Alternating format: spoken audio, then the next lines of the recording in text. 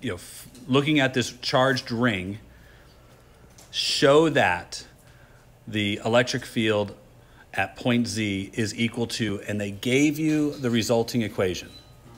Your job was to use first principles to show that that was true, which is what we were doing yesterday. But they gave you the answer to which you were searching. So, you know, that kind of helped. It helped give you a starting point, but more importantly, it also made it clear that if you're going to have to reuse that later in the problem, you didn't have to go in there blind, you had the answer. Now, they do that quite a bit nowadays, where they will have a step in the problem where they will ask you to prove something, but they will tell you what your target answer is going to be. So you're not shooting in the dark. Older exams, you were just shooting in the dark, and if you couldn't get that answer and it was used in the next step, you really were kind of kind of lost. So yesterday we ended, I think, right at the point where we were showing the answer. Is that true? So we had the piece of the electric field equal to, and we had to go through the whole um, finding out what the linear density was, and we were basing that on r d theta times k, and that was um, all over my recollection is z squared plus r squared times z over uh, z squared plus r squared to the 1 half. Is that right? That's where we ended. And our charge density was q over 2 pi r.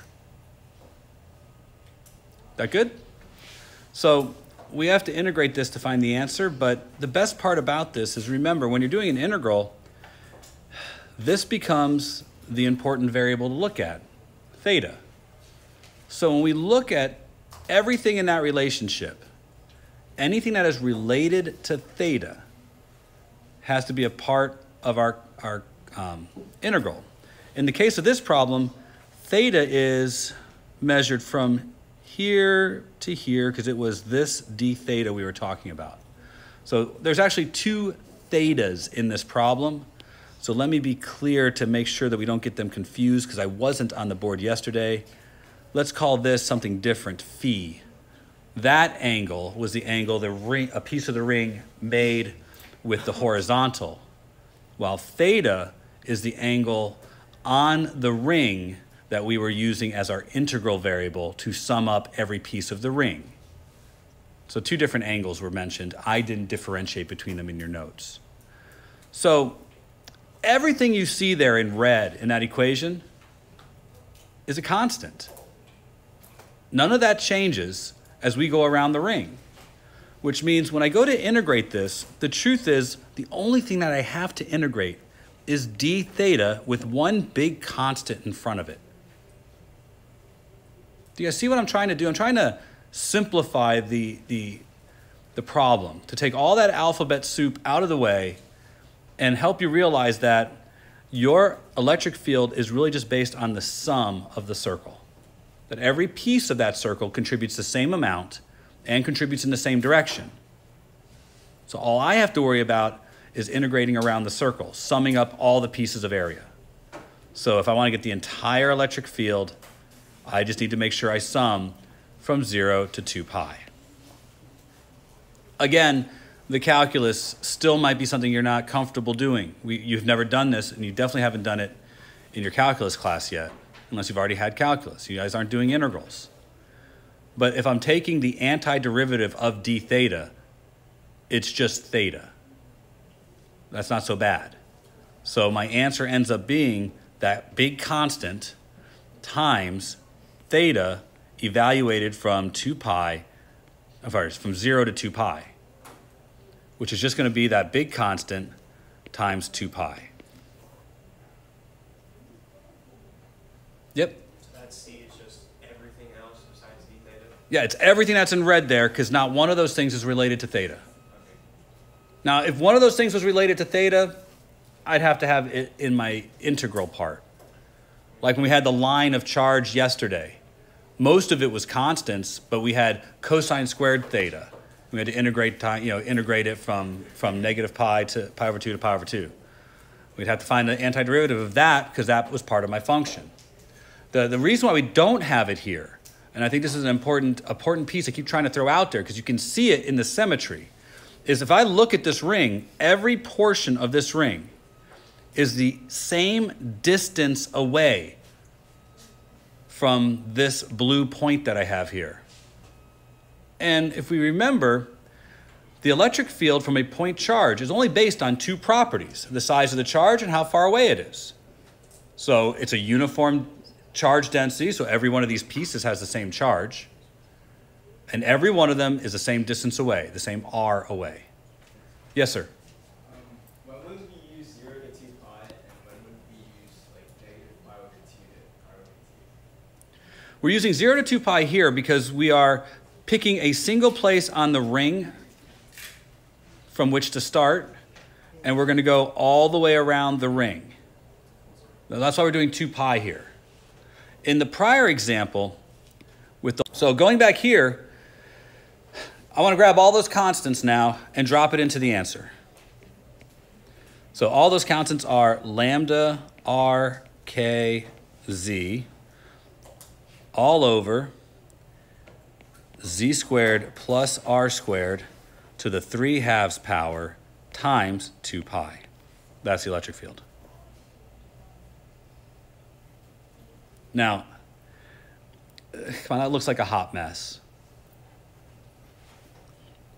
But let's try and make a little sense of it. Believe it or not, there's quite a bit that we can do to make sense of this. And let me get to a new page for that, okay?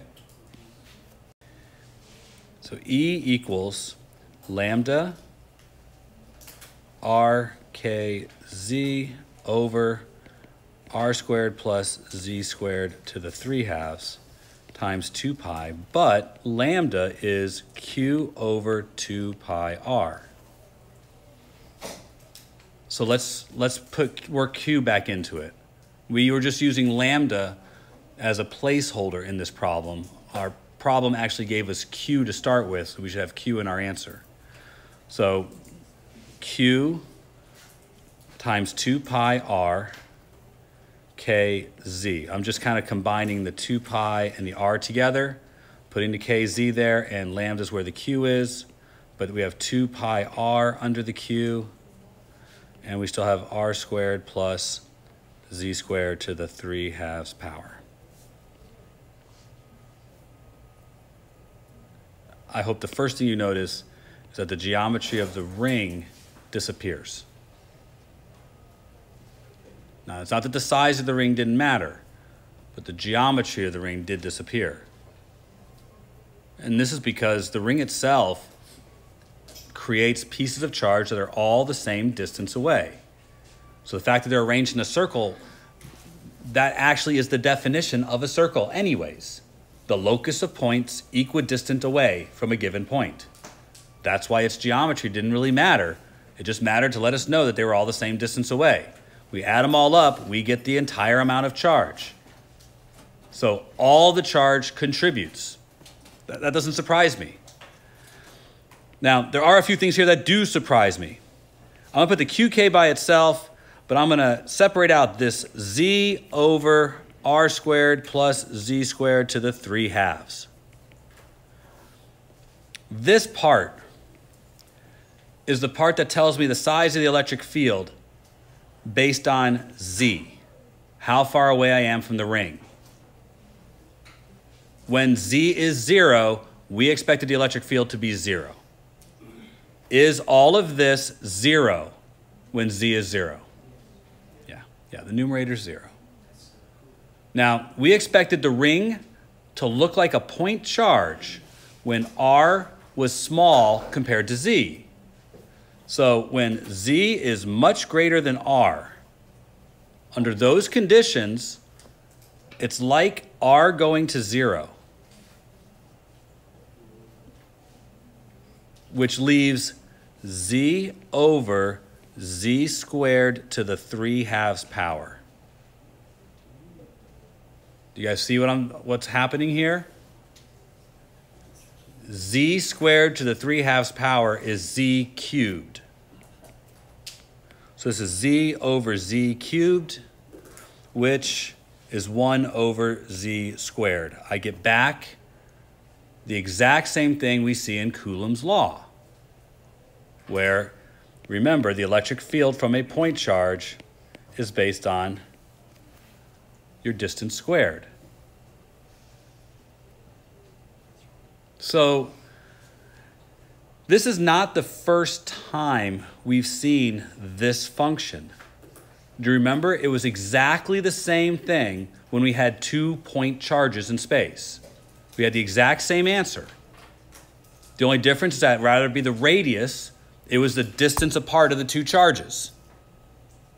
So this shows up in stuff like this because we know we have to have this weird dependence, this idea that the electric field is zero when I'm inside the ring at the middle, and it tapers off in the long distance, just like it would if I was just a point charge. It's in the middle that it does something interesting. And this is what was on your multiple choice test. Do you remember? The one multiple choice test we had, you had to pick a graph that would look like this. And the graph that I want to remind you is going to look something like that. Now, in a couple of weeks, I will expect you to be able to tell me when the electric field is a maximum. In a couple of weeks, you should know how to do that. So from here, I want to remind you that maximum and minimum come from the derivative. That's only been asked once on all the AP exams that I've ever seen. But look, sometimes it's not about the AP exam. It's about knowing what your mathematics can tell you. Okay? All right, of charge. And this is an excellent question, so I do want to at least spend a moment. I have this infinite line of charge, and I am located, you know, here. Well, I want to go from you know, this side and sweep all the way around to, you know, this side. And we were measuring our angle from here. So in the extreme, this would be, you know, pi over 2. And if that's the negative side, it'd be negative pi over 2. And we're going to go all the way from there to pi over 2 on this side. That would be infinity.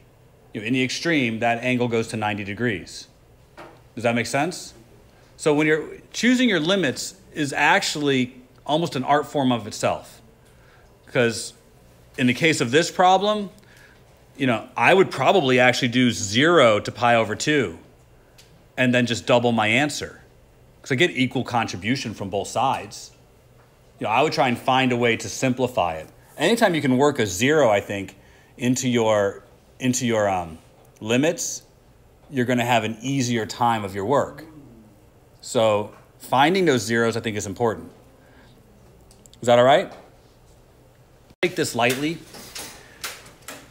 E and M can actually be broken down to four equations. Four equations that govern all of electrodynamics. And those equations are called Maxwell's equations. Everything else we've seen or will see is a derivative of Maxwell's equations. And Maxwell's equations are incredibly elegant. In fact, that's a t shirt by itself. But it's already been done. A list of Maxwell's equations and what part of this do you not understand? Because, quite frankly, Maxwell's equations just look really, really cool. Now, I'm saying that to you guys, but looking cool is one thing. Some of you are not impressed by an equation and I get that. Maxwell, though, is, is a neat guy. When you look at his history, he was just a horrible human being. He was he had his hand in all sorts of stuff, and him and Faraday and a few others really, really were just mixing it up. And they would just they really wanted to break new ground and discover new things, and it was almost always at the expense of the health of their lab assistants whom more than once suffered catastrophic failure in the laboratory. So when you study these guys, you know, we, we tend to revere them as science heroes, but science usually has breakthroughs at the expense of somebody else. Uh, Faraday is, is actually famously known for trying to get to absolute zero. That's, that's not what we will study about Faraday, but it was one of his passions. And the pursuit of absolute zero was actually being taken up by several different scientists. And they were all trying to get to colder and colder temperatures, trying to get as close to absolute zero as possible. And the only way to do it is to cool something that's already under pressure and then release the pressure. So they would make these incredibly complicated glass tubes and they would put a gas in there and they'd put it under pressure as much as they possible when cold to liquefy it and then cool it even further as a liquid. And then they would make the pressure drop as close to zero as possible, which would force the gas to vaporize, sucking all available heat with it, lowering the temperatures even further. These guys were getting down into the, you know, tens of Kelvin. But they were doing so by demonstrating that they could liquefy helium or liquefy neon. The noble gases is what they're trying to liquefy because it's hard to do. More than once, their tempered glassware would explode in the laboratory. They were never in the lab, at least not when that was going on. They were behind the protective barriers. But they always needed somebody in there to pull the plug and lower the pressure. TAs often paid the penalty for that, with glassware exploding in their face and stuff, not infrequently. I used to show a movie about it, but I don't anymore because it's really, really boring. But maybe I'll see if I can find at least that part where they're talking about the pursuit when they're really getting to the low temperatures. Now, today we're going to talk about the first of Maxwell's equations, Gauss's law.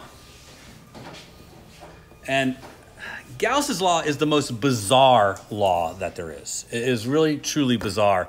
And I say most bizarre, and I'm going to say that a lot this year because each one of these is actually pretty bizarre. But between all of these, I like Gauss's law a lot in that all of these are laws. And who can tell me what makes something a law? There's no theory to explain Gauss's law, but there's no evidence to the contrary. So I'm going to tell you what Gauss's law is, and I'm going to write out Gauss's law, but understand it doesn't really mean much to you guys right now. Gauss's law states this that the charge enclosed in any um, in in any oh in any complete area is equal to the total electric flux times a constant.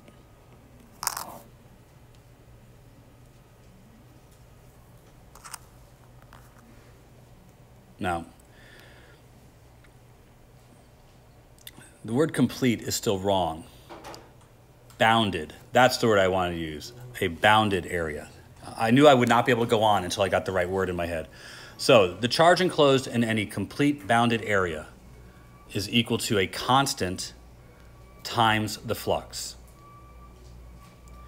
Now, this is the symbology we're going to use. This circle with a line through it actually looks like that when drawn correctly. Nobody draws it like that. They all draw it like this. But I want to make sure you understand that the actual symbol used for flux looks like that. It's like an eye with a circle in the middle. It will be the symbol we use for flux. Flux is a general term that comes from the Greek word to flow but there are lots of different kinds of flux. The you probably have not who's used the word before and not accidentally because you meant to say something else. Okay, so I can say anything at this point and it really wouldn't matter. But when we talk about flux, flux is always related to the flow or the capture of some value through an area. Now, that doesn't sound like very much, but here's, here's an example that in Florida you might understand. Who has ever seen somebody skim a pool? Like you have a pool in your backyard and you have to skim it? How many of you know what I'm talking about? You've got that net on the end of a stick. Okay. And you're going to take it across the water so that you can scoop out anything that's floating on the surface. Does that make sense? So, if this is the water's surface, and you grab your net and you place your net like this, the water surface, and here's the pole. So you're holding it right above the water surface and going across. We would say there is a water flux passing through this portion of the net. Does that make sense? Because that water is going through the net in that area. I would never, if I was trying to skim the water, I probably would not put the net in like this and draw the net sideways to the water because I wouldn't capture anything. If I wanted to capture something floating in the water, I would like to open the net up in such a way that water passes through the net. Does that make sense? Flux is a measure of the amount of water going through the net. Now, skimming a pool, I don't care how much water goes through the net because I'm just trying to capture stuff that's on the surface, right? But if I was actually trying to scoop water, this would not be the most efficient way to do so. It would probably be better for me to get more of the net in the water. Wouldn't you guys agree? Because now I would have all of this water flux passing through the net. Are we following a little bit about the idea of flux right now? So, when we talk about flux, the most common way it gets brought up in Florida is solar flux. People who work in the area of solar power attempt to place solar panels in such a way as they get the most sun exposure, which means placing the panels perpendicular to the rays of the sun. Does that make you guys can believe that, right? So we want to try and find a place where we can do that. Now, that's impossible, by the way, because the earth being flat and the sun moving over the top of us, we know the sun is never always perpendicular to the solar panels. And if you believe in a round earth, or a spherical earth even, you understand that the sun is never in the same place every day relative to those solar panels. So you try and maximize the efficiency of your panels by placing them at some angle where the sun usually hits it dead on. But solar flux would be looking at rays of the sun, which might be coming in in nice, you know, straight lines. How they might be striking our solar panel, and that has to be the end for the day.